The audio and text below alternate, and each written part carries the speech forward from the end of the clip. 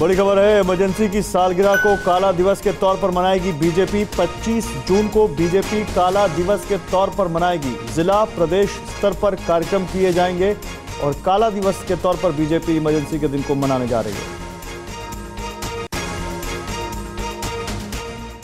अड़ी, सोमवार से शुक्रवार शाम छह बजे, सिर्फ़ टीवी नाइन भारतवर्ष पर।